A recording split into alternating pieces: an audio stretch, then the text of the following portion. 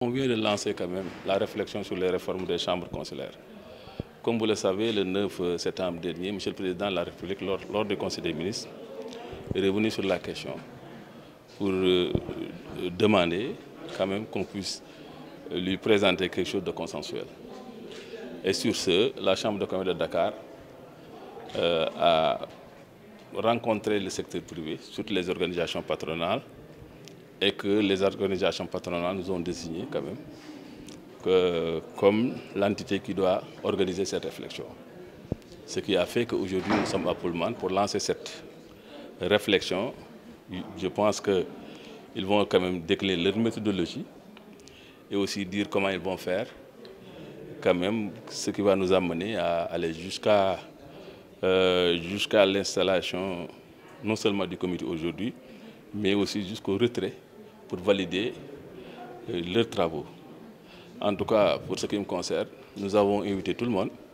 Nous avons demandé euh, aux gens de participer, non seulement euh, de venir physiquement, ou aussi de nous envoyer des écrits, afin de prendre en compte les préoccupations des uns et des autres.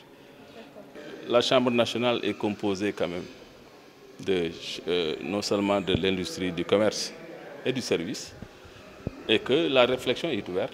On va demander quand même aux gens de réfléchir euh, sur la question. Au niveau du Sénégal, il y, a, ce problème de ressources. Les gens nous parlent toujours de qu'il y a cet émiettement qui fait que euh, au niveau euh, du Mali, la Côte d'Ivoire et autres, ils ont, des budgets de, de, de 12 milliards jusqu'à 30 milliards. Et que nous, c'est Dakar seul qui a presque 1 milliard 900. Les autres, ils n'ont pas le milliard. Donc je pense que si on regroupe nos forces, ça peut quand même être vraiment quelque chose qui peut nous aider à, à faire face à nos missions. Parce que nos missions, ce n'est non seulement pas de représenter seulement le secteur privé, mais de les encadrer et de les assister. Et nous n'avons pas ces moyens de le faire. Donc, pour dire que quand même, euh, cette réflexion vient en son heure. En tout cas, on nous demande quand même de parler de tout, parce qu'il n'y a pas de sujet tabou.